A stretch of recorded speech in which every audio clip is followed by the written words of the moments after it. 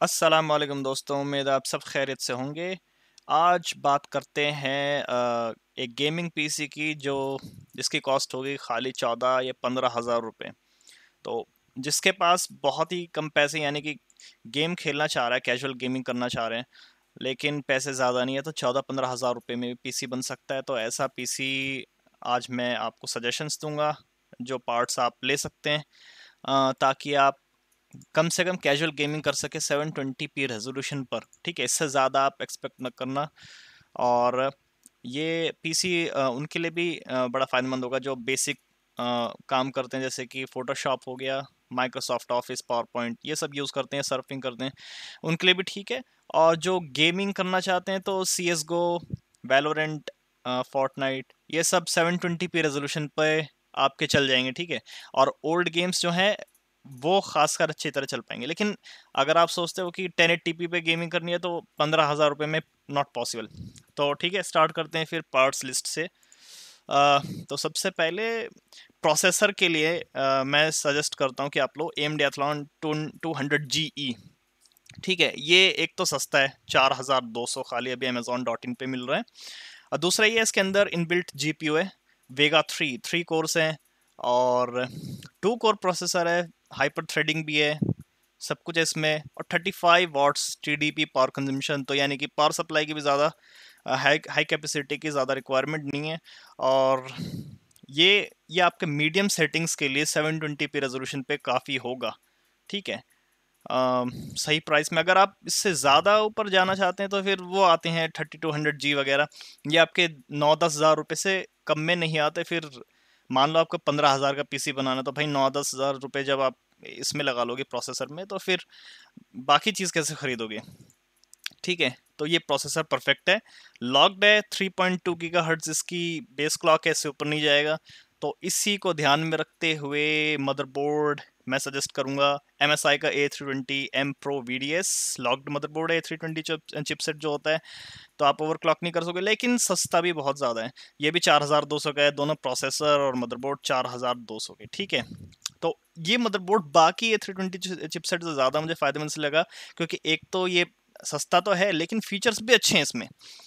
यानी कि अगर मदरबोर्ड अगर आप देखोगे तो three plus two power phases हैं ठीक है वैसे तो ओवर क्लॉकिंग की ज़रूरत नहीं है तो उसमें हीट सिंक नहीं ऊपर कोई दिक्कत की बात नहीं है। और दूसरा आ, आपके दो डी आई एम स्लॉट्स हैं और इसकी जो यानी कि सपोर्ट है मेमोरी की वो कमाल की है। Thirty two hundred megahertz frequency ये सपोर्ट कर सकता है ठीक है?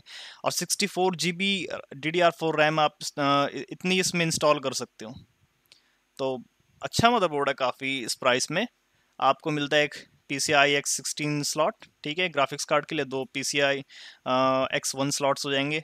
अगर आपको कोई वाईफाई कार्ड लगाना हो, उसके लिए ठीक है, क्योंकि इन बिल्ट वाईफाई नहीं मिलेगा आपको इस प्राइस में। चार तो आपका सेटस पोर्ट्स हो गए, ठीक है? लेकिन इसमें एम डॉट टू स्लॉट नहीं है। एन वी एम या एस एस डी आप नहीं लगा सकते, ठीक है?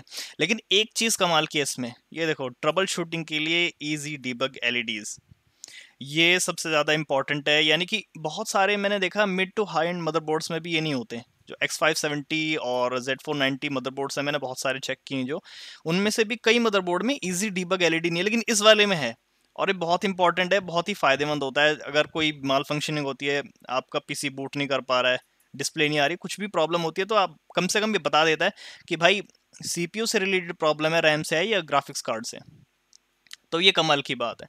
दूसरा अगर हम देखें इसके जो पोर्ट्स हैं ठीक है क्या क्या आपको आईओ में पोर्ट्स मिलते हैं तो छः तो आपको मिलते हैं यूएसबी पोर्ट जिसमें चार हैं थ्री पॉइंट ज़ीरो या थ्री पॉइंट वन जो भी है आ, दो आपके टू पॉइंट ज़ीरो हैं और एक पी एस टू पोर्ट मिलता है और डिस्प्ले के लिए एक वी जी ए और एक डीवीआई तो वैसे पोर्ट्स यूएसबी ज़्यादातर मदरबोर्ड में ऐसे लो एंड मदरबोर्ड में इतने सारे नहीं होते। छः यूएसबी पोर्ट काफ़ी सही है इसमें मेरे हिसाब से क्योंकि यूएसबी पोर्ट्स सबसे ज़्यादा यूज़ होते हैं। मदरबोर्ड में अगर आ, मैं समझता हूँ जो सबसे पहली प्रायोरिटी होनी चाहिए आ, अगर आप एक बजट पीसी बना रहे हैं तो यूएसबी पोर्ट्स ज़्यादा होने चाहिए क्योंकि बहुत सारी पेरिफेरल्स आज के टाइम पे कनेक्ट करने के लिए होते हैं ठीक है? कीबोर्ड माउस माउस पैड भी हेडसेट भी हो जाता है। वेब कैम भी हो जाता है। और भी चीज़ें हैं जो कनेक्ट कर सकते हो यूएसबी ड्राइव आप कनेक्ट कर सकते हो तो इंपॉर्टेंट है। तो मदरबोर्ड के लिए परफेक्ट है। अब रैम बात आती है रैम की तो चार जी बी रिकमेंड करूँगा। और क्योंकि ये motherboard thirty two hundred mega hertz support कर लेता है आपकी रैम तो बेटर रहेगा कि ज़्यादा से ज़्यादा फ्रिक्वेंसी के पर ज़्यादा फ्रिक्वेंसी की मेमोरी फिर महँगी भी आती है। तो इससे अच्छा तो भाई आप वो वाली यूज़ करो जो कम से कम आपके बजट में आए, ज़्यादा पैसा आपसे खर्च ना हो। तो एक तो है Hyper X Fury four G B twenty four hundred mega ये है करीब करीब बाईस सौ रुपये की, लेकिन मैं सोच रहा हूँ कि आप ए डेटा की ये वाली मेमोरी यूज़ कर लो, ये भी for twenty four hundred mega hertz की है, लेकिन ये करीब करीब साढ़े उन्नीस सौ की है तो आपके करीब करीब दो सौ ढाई सौ रुपये बच जाएँगे इसमें। भाई काम वही करेगी, बस इस पर हीट स्प्रेडर नहीं है, थोड़ा अच्छा नहीं दिख रहा। भाई काम सही करेगी डेटा अच्छी कंपनी है, बुरी नहीं है। तो ये मेमोरी के लिए काफ़ी है और याद रखना, आप ज़रूर इसको फ्यूचर में सबसे पहले जो अपग्रेड करोगे वो मेमोरी होनी चाहिए प्रोसेसर से और ग्राफिक्स कार्ड से भी पहले। क्योंकि क्रोम हो गया या आपके गेम्स हो गए मेमोरी ज़्यादा यूज़ करते हैं और ख़ासकर जो एपीयू है, क्योंकि आपका ये Athlon two hundred G E तो आपका सिस्टम खाली रैम नॉर्मली यूज़ नहीं करेगा, बल्कि जो आपका ग्राफिक्स होगा इसके अंदर, जो ए जी पी यू है इस प्रोसेसर के अंदर, वो भी इसी रैम को यूज़ करेगा। तो जब चार जी बी ही रैम होगी तो आपके पास फिर बॉटल नेक वो क्या कहते हैं उसे हैंग होने का भी डर रहता है। और बॉटल नेक भी होगा हाँ। तो इसलिए चार जी बी वैसे सेवन ट्वेंटी पी रेजोल्यूशन के लिए काफ़ी है। अगर आप अपग्रेड करते हो तो सबसे पहले चार जीबी की एक और रैम मॉड्यूल ले लेना। ठीक है पावर सप्लाई अब दो ऑप्शन है पावर सप्लाई में, देखो। अगर रिलायबल चाहिए थोड़ी, ठीक है तो थर्मल टिक की light power four fifty watts है। ये छब्बीस सौ की है, ये कूलर मास्टर एमडब्ल्यूई से भी सस्ती है, वो करीब करीब पड़ रही है तीन हज़ार या इकतीस सौ की, ठीक है। ये छब्बीस सौ की है, लेकिन इससे थोड़ा बजट बढ़ जाएगा, पंद्रह हज़ार से ऊपर चल जाएगा। तो इसलिए थोड़ी कम reliable power supply Clarion 550 watts है। भाई, ज़्यादा एक्सपेक्ट मत करना। सेफ़ रखेगी, लेकिन जैसा पीसी है भाई, इस हिसाब से ज़्यादा महँगी पावर सप्लाई लेना भी बेवकूफ़ी है। ये कम से कम जेब्रॉनिक्स वगैरह जो सड़े सड़े वो होती हैं पावर सप्लाईज 400-500 वॉट जो 400-500 में मिल जाती है, उससे तो अच्छी ही है। ठीक है, इसकी रेटिंग्स भी ठीक मिली है कस्टमर रिव्यूज़ भी ठीक है इसके। तो आपके इस बजट पीसी के लिए ये काफ़ी है। ठीक है, अगर आप ग्राफिक्स कार्ड भी लगाते हैं आगे तो उसके लिए भी काफ़ी रहेगा क्योंकि इसमें एक पीसीआई कनेक्टर भी है सिक्स पिन ठीक है? तो जी टी एक्स वगैरह अगर आप लगाते हो जिसमें अगर सिक्स पिन का कनेक्टर है तो ये आपका वो ग्राफिक्स कार्ड भी चला देगा। ठीक है तो ये आपकी पावर सप्लाई हो गई और एक मिनट। एक चीज़ तो भूल गया। स्टोरेज स्टोरेज सॉरी मैं भी सोचूं, यार ये पंद्रह हज़ार में सब कुछ कैसे आ रहा है? लेकिन स्टोरेज भी बहुत ज़रूरी है ये तो मैं भूल गया। स्टोरेज आप थ्री ट्वेंटी जी बी अगर हार्ड ड्राइव मिल जाए वो ज़्यादा बेटर है। ये देखो आ, कितने की है? Seagate fifty nine hundred R P M तो ठीक है आप सी गेट वाली ले सकते हैं। ये ये सस्ती है वेस्टर्न डिजिटल की ढाई सौ जी बी बड़ी महँगी है।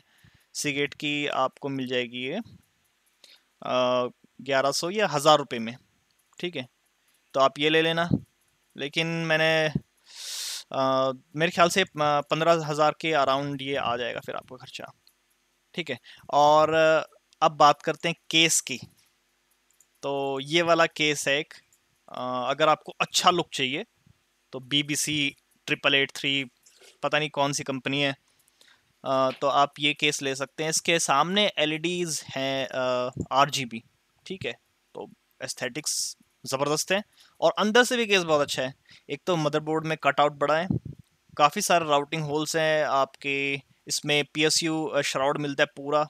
और यहाँ से भी कटआउट्स हैं पी एस यू श्राउड में, जिससे आप वायरिंग आसानी से कर सकते हो। और अगर बैक साइड में देखें तो ठीक है क्लियरेंस काफ़ी है। बहुत ज़्यादा नहीं है, पर या ढाई हज़ार के हिसाब से सब कुछ मिल रहा है इसमें। तो आप काफ़ी सारे फ़ैन इंस्टॉल कर सकते हो। एक रियर में, दो ऊपर और दो पावर सप्लाई श्राउड पे हालाँकि पावर सप्लाई श्राउड पे मैं नहीं रिकमेंड करता आ, कि आप इंस्टॉल करें फ़ैन क्योंकि भाई कहाँ से अगर आप इनटेक के लिए इसको यूज़ करोगे किस तरीके से ये नीचे से हवा लेके ऊपर भेजेगा? नीचे तो पावर सप्लाई लगी हुई है है ना? तो तो अगर आप ये सब कैलकुलेट करते हो तो ये करीब करीब कितने का बनता है? बयालीस सौ ये ठीक है हज़ार ये आ, कितने हो गए? बावन सौ और ए थ्री ट्वेंटी चिपसेट का मदरबोर्ड वो भी बयालीस सौ का था। कैलकुलेट करो यार बयालीस सौ प्लस बयालीस सौ हार्ड ड्राइव आपकी है हज़ार रुपये की और रैम है आपकी साढ़े उन्नीस सौ रुपये की और आ, एक पा ये आ, ये वाली अगर हम लेते हैं पावर सप्लाई तो ये है पंद्रह सौ की। केस है ये ढाई हज़ार का। तो सब कुछ आ गया कि इसमें? एक तो क्या processor motherboard hard drive RAM और ये आपका क्या हो गया? पावर सप्लाई और केस पंद्रह हज़ार तीन सौ पचास। तो पंद्रह हज़ार रुपये में ये पीसी रेडी है। ठीक है, अगर इससे कम करना है तो आप केस बदल सकते हैं। माइक्रोएटिक्स केस भी मैं रिकमेंड करता हूँ। अगर आपको खर्चा बचाना है तो। और कोई सस्ता सा माइक्रोएटिक्स केस हो जो ठीक ठीक हो, वो आप सेलेक्ट कर लो। वैसे तो उसमें मुझे कुछ दिख नहीं रहा ढंग का। मिड टावर ही ठीक है। फ्यूचर प्रूफ है एटी एक्स मदरबोर्ड आप इंस्टॉल कर सकते हो। एक ये है कौन सा है? दो हज़ार रुपये का केस है, पाँच सौ रुपये बच जाएँगे। चेक करते हैं और कोई है क्या केस और तो कोई नहीं मिल रहा। ठीक है तो इस केस में देखते हैं क्या खासियत है। आह! ये कैसा केस है? यहाँ पावर सप्लाई आपकी लग जाएगी ठीक है हार्ड ड्राइव यहाँ लग गई। मतलब काम चला हुआ है सच बताऊँ तो। आ, मैं रिकमेंड नहीं करूँगा क्योंकि इसकी बिल्ड क्वालिटी इतनी अच्छी नहीं है। और क्लियरेंस क्लियरेंस भी खास नहीं है यार इसकी। हालाँकि मदरबोर्ड कटआउट अच्छा है इसका सी पी कूलर इंस्टॉल करने के लिए। और सामने आर है अच्छे एस्थेटिक्स के लिए। अब भाई अगर कम पैसे खर्च करने और ये भी चाहिए एक्रालिक पैनल होगा इसमें पक्का ये। टेम्पर्ड ग्लास तो नहीं हो सकता। सब कुछ चाहिए तो भाई कुछ ना कुछ तो कंप्रोमाइज़ करना पड़ेगा। इसमें शायद एक प्री इंस्टॉल्ड फ़ैन भी है अरियर में। तो अगर आप बिल्कुल पंद्रह हज़ार से कम में चाह रहे हो तो फिर ये ठीक है। करीब करीब आपकी टोटल कॉस्ट पीसी की बढ़ेगी चौदह हज़ार आठ सौ पचास। तो पंद्रह हज़ार रुपये के अंदर आपका ये इनशाला पीसी रेडी होगा। और आपके बेसिक वर्क के लिए और कैजुअल गेमिंग के लिए काफ़ी होगा। तो ये थी मेरी सजेशन अगर आपको ये वीडियो पसंद आई या आपको लगी हेल्पफुल तो लाइक कीजिए और सब्सक्राइब कीजिए ताकि आगे वाले आने वाले जो कंटेंट मैं बनाऊँगा, उसके बारे में भी आपको वीडियो मिलती रहे।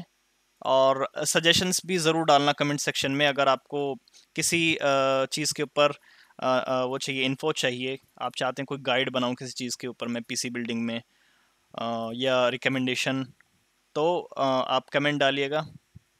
ठीक है इन फिर मिलते हैं अगली वीडियो में। अस्सलाम वालेकुम